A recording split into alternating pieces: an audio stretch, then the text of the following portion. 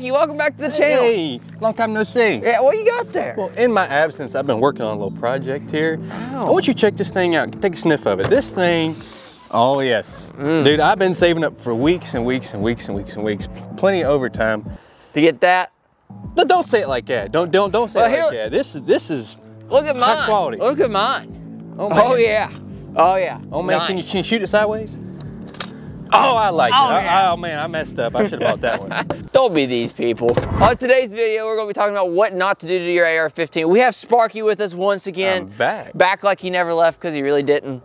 And we're going to be talking about different things you should not do to your rifle or your AR-15 or your... Shh.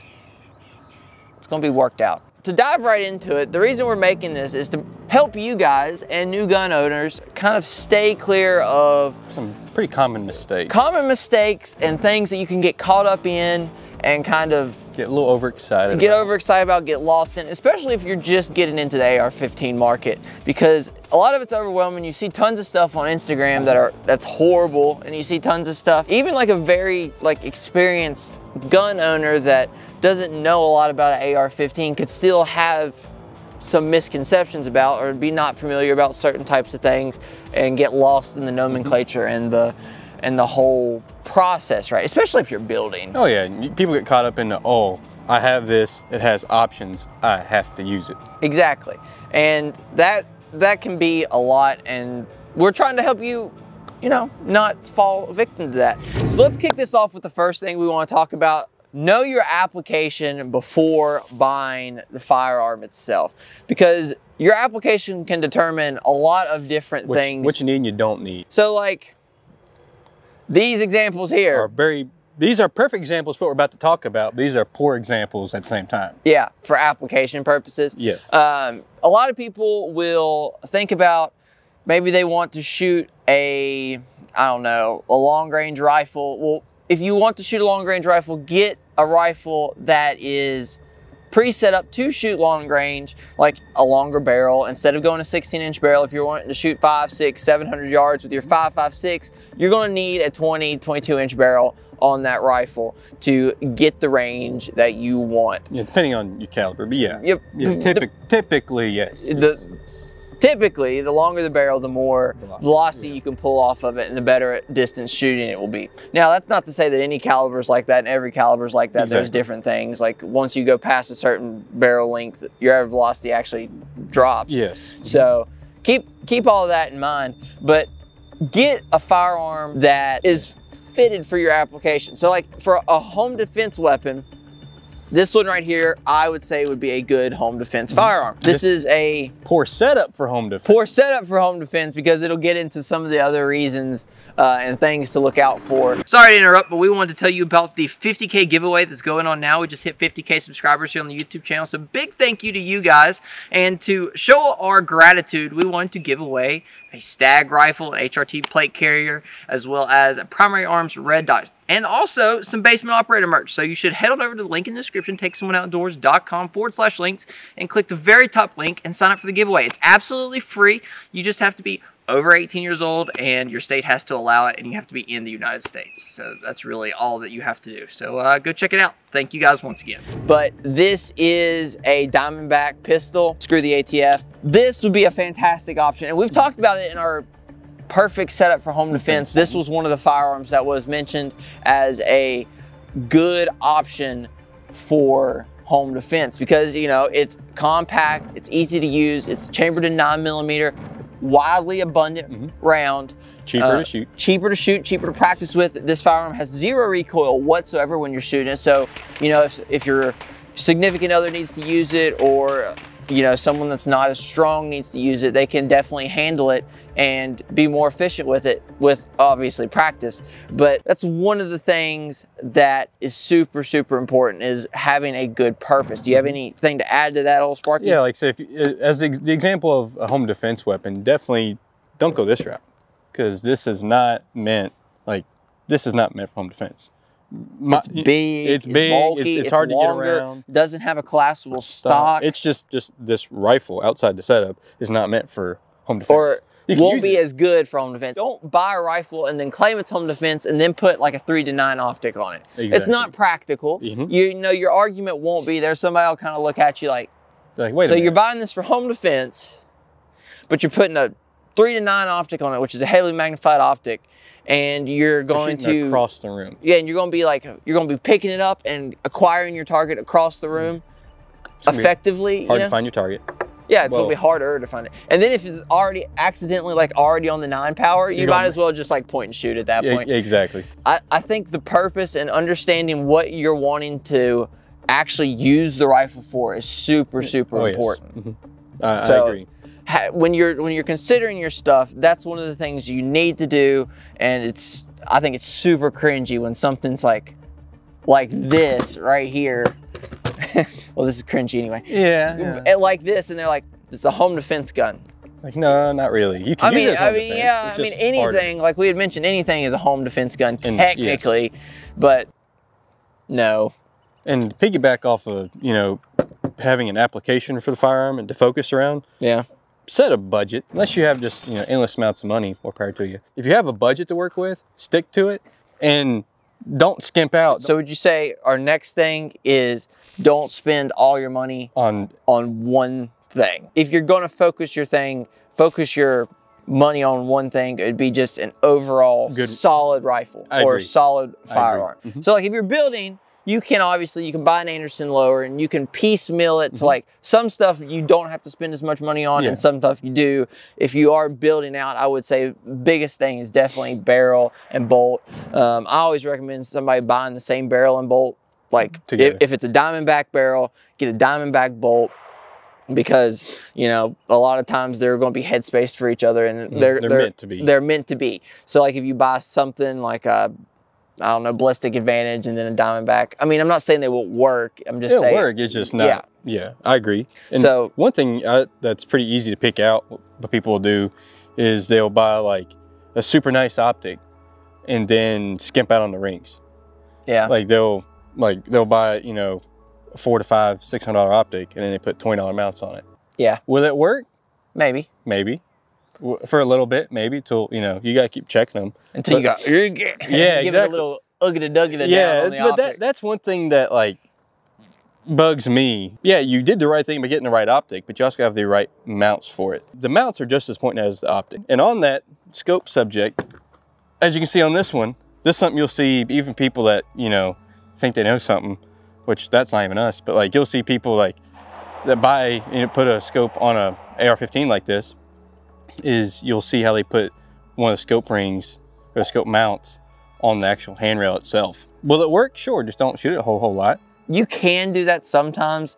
There's there's very few and very specific applications for when you can actually uh, Do that? mount or your optic on the rail of your gun. I was I've noticed like older Mark 12 models of the military. Yeah, but they use like that. this is so this is a cheap a cheap rail and a cheap optic and like I would not trust this thing to be mounted to both my receiver and my rail system if you want good consistent groups. if you want good consistent groups because your rail and your receiver aren't locked together. Necessarily, So they could there's gonna be some play. there there could be play. Mm-hmm. We're not saying there will be, but there could be play and that's one of the things that comes out of mounting in two different locations. And that's So- just not knowing better. Yeah, and that's just and you just don't know better. yeah, and you know. and that's nothing against the person necessarily. Like, but if you just if you don't know, you don't know. Yeah, but that is one of the things like every time I see it I'm like no. Yeah, it's like you know, some, like like if if you know, you know and you see it and you're like no.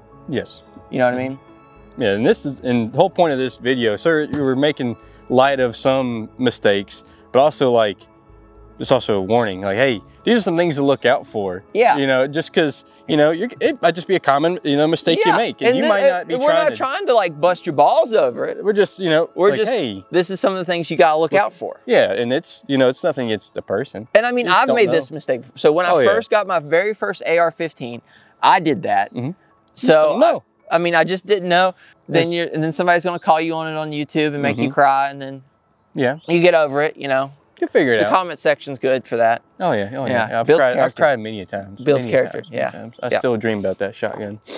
But, you know. back doors and turning lights on. I know, making- giving making- away your position. Fudd lore. Making tracks, man. Fudd lore, Hey, your, Sparky. yeah, your light's a little loose. Leave that thing alone. So don't spend all your money in one one place. Now, what I would recommend is like what Sparky had said in the very beginning, set in your budget, whether that be a thousand, fifteen, whatever you can afford. We're not harping and like hating on cheap stuff because we get it. Not everybody can spend fifteen hundred dollars on a rifle. We've been there. We've mm-hmm. been there, done that. You know, I get it. I've spent a five hundred dollar rifle and I've put a two hundred and fifty dollar optic on it, and I mean, Just fine. just fine. And then I've gradually got better stuff as I've went Mm-hmm. on in my life and can afford to get better stuff, you know? So I'm not, we're not hating on the budget because we've been there. We still do that. And, but we're saying set something. And if you're only buying once, get something nice, get something good, do a lot of research into it. Make sure the purpose is there. On the subject of price, don't accessorize the gun just to drive up the price. So you can be like, oh, I spent twenty two hundred dollars on this AR. Yeah. Or whatever. Like You put the- enough the- crap on it, it'll, it'll raise the price. The, the price of the gun shouldn't determine how good the gun is necessarily. well, like this one right here, just because of this magazine, this is like a hundred and some dollar magazine, yeah, 60 round mag. yeah, but This like, makes this this adds the price tag of this gun up a lot. buying quality accessories for accessories that you actually need for your application, that's gonna drive up the price anyway. Buying quality ones. Yeah. But I'm saying like don't buy just junk accessories just to have them and cover the gun and cover the gun and accessories just to have them. And that's that's one of the other topics I'd like to like to add to the list is don't buy something just because you saw somebody have Mm-hmm. it. Because you might not know why they have it, you might not know what they're using it for. Ask 'em. And however you're using it, just because you saw it, bought it, and put it on your gun, doesn't mean you're using it correctly Mm-hmm. And doesn't mean you have it mounted correctly. So like prime example for this one is like this thing all the way up here. Now, if you're like six seven and have like seven pl- plus foot wingspan, maybe that makes sense. If you got that long arm, makes sense. But potentially. like, this but- is like how the Daniels defense guns are sold. oh yeah, they are. But like, I, I can't stand it. but this, but this is just preference. This is a preference thing. Yeah. And also, if like if you buy a gun and start playing with it like that, you're gonna figure out, oh, I like this because this is more comfortable, or this this makes more sense for my application.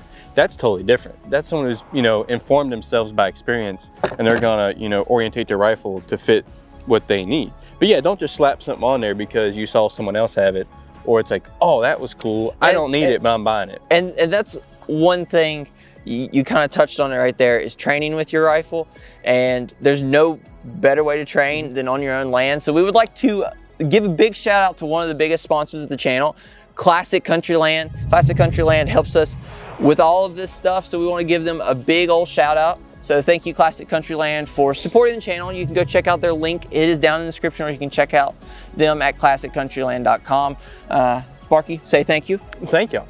All right you. Love you long time. Love you long time. So go go check them out, get some land so you can go training.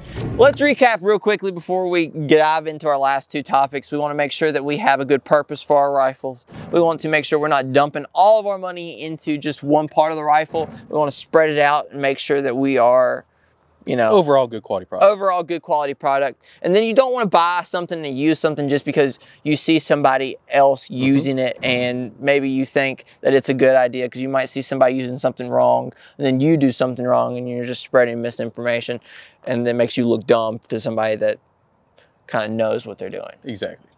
So those are main three things we've talked about before. Let's dive into the next one. Controversial one Pet peeve of some people. warning.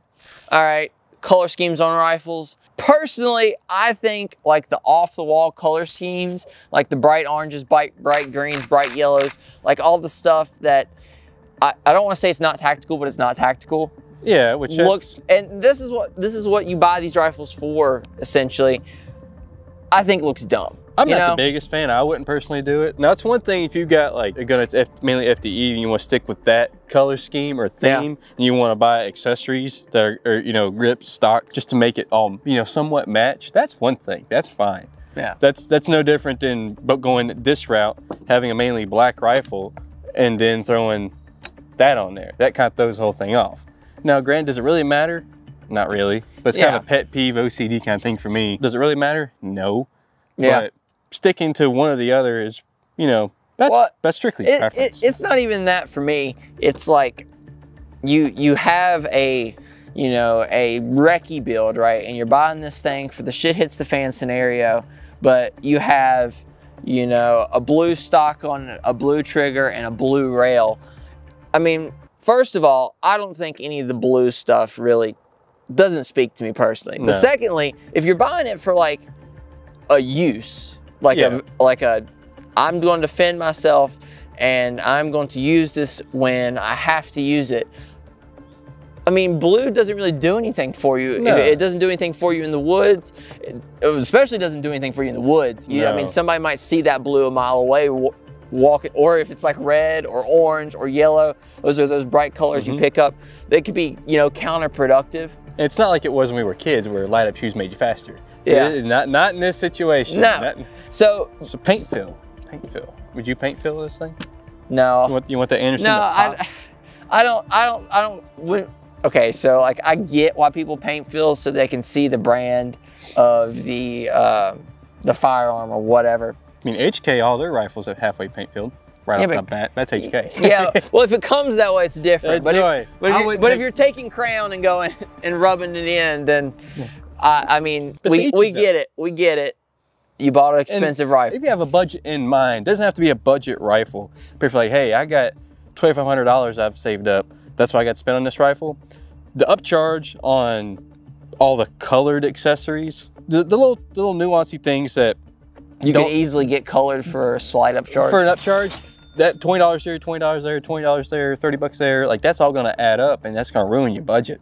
Like if you're trying if you're trying to stick to a budget, I wouldn't I wouldn't go that far. if you're getting a rifle, I think you should stick to the top three camo patterns. I think you should go black, green, or FDE, or like some variant. Like this is a this is midnight bronze Cerakote, but it's kind of like close to FDE. Yeah. Uh, I think the I mean these are guns you're using for you know tactical purposes. That's why you usually buy them for home defense, long range, you know, recce, whatever shit hits the fan. Yeah. All those are purposes of not flashy. Mhm. Now, if you are building out like a high, you know, comp, comp gun, Skeletonized. yeah, a lot of those comp guns they they are painted in different colors, but they're flashier. They show off. Yeah, that's what they're trying to do. They're trying to draw attention. They're trying to draw that yeah, attention. and like a lot of those like bougie triggers that you know have barely any that are just like I don't know if you've seen them, but just have like the little red pieces that. oh, oh, you mean that? You mean that little blue guy right there? Yeah, what's the deal with that, I, I don't know. It's it says the police edition, the blue line one. No. So I was like, See, you're weird. my money went to the right spot. I understand why all of that is, you know, the crazy color schemes because those are comp shooters. They're wanting to be on like magazine Yeah. covers, Trying to draw attention. trying to draw attention. So I get that, but like for the everyday person, I I, I just don't like it. It's But if that makes you happy, brings you joy, I'm not raining on your parade. I am, but who am I to tell you what to do? Spend money on things that matter, not Yeah. that. And speaking of spending money on things that matter, you should go check out Basement Operator Company because we got some pretty sweet stuff. The only cans. How much is know- subscription though? Oh, the subscription. Yeah, How much is that going to be? Like I can I can handle five ninety nine. $6.99. Six ninety nine. That's I Yeah, got like I like two numbers of that. Yeah. So go check us out, basementoperator.com, or the link in the description there. You can pick up some sweet only can sweatshirt or the stickers, because you know, Everybody loves good sticker. everybody loves a good sticker. It's hard to beat a good sticker. That's right. So uh, go check us out. We'd really appreciate it. And now, Sparky, on to our last point to all of this nonsense. All right. It's knowing your firearm and knowing how to use it. Because someone can And- go out there. Well, do you want do you want to tackle this? But like going out and just buying, then spending bukus of money on the nicest stuff, not knowing how to use it. Yeah. All right. Here's a great example. This is like a $1,500 rifle. Sure. Or, Whoa, Oh, whoa, whoa! oh! What- what is this now? I don't know. Take it off. It's a firearm. oh, there's a screw. That's why it's not coming. Oh. Anyway, so we have like a $110 bipod and twenty dollar pro mag. $20 Pro Max. But like, this is an example of spending a lot of money and having it set up dumb. The the scope, the first of all, there's a scope on the little bitty pistol, which is kind of stupid, and then it's also mounted backwards. So like this is an example of knowing how to use your gun And or knowing how to use the accessories. and knowing how to intended use the accessories and knowing what accessories you need to have on your gun. And then on top of all of that, you need to be able to train with it and shoot with it and use it and come become familiar with it.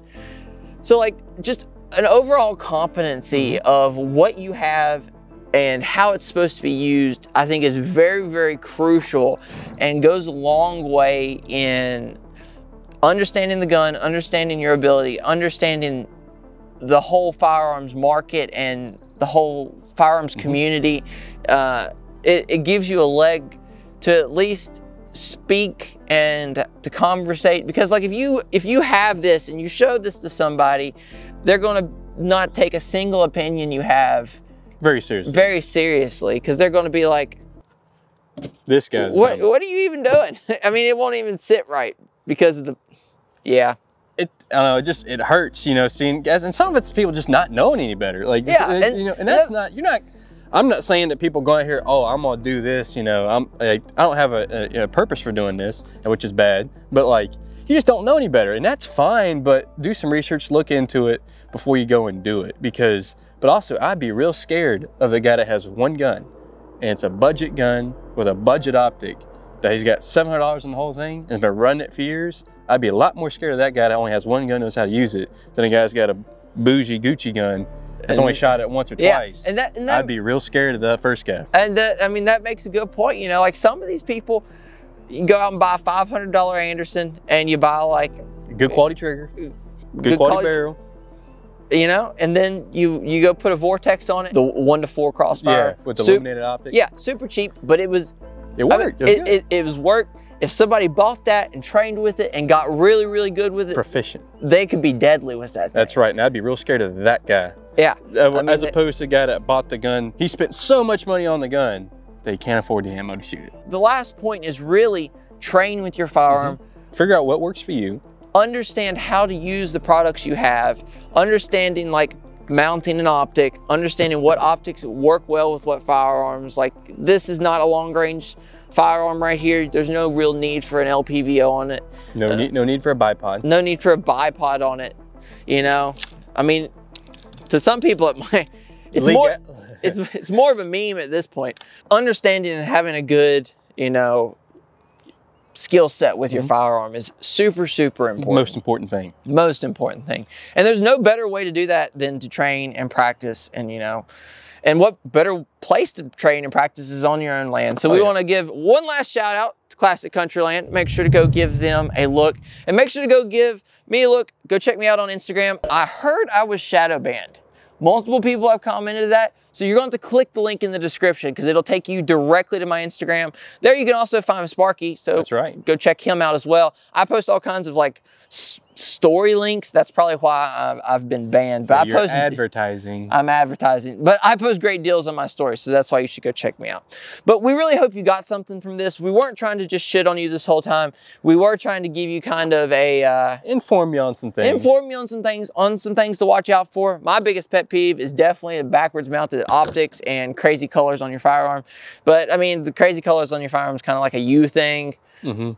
You won't. I mean, I don't care what you do, but I'm just telling you. Because I bet uh, you people don't like your rifle. Yeah, but there. Well, I know there is. I, I have a comment section. Oh yeah. Mm. So we appreciate it. We'll see you on the next one. As always, take someone outdoors. Peace.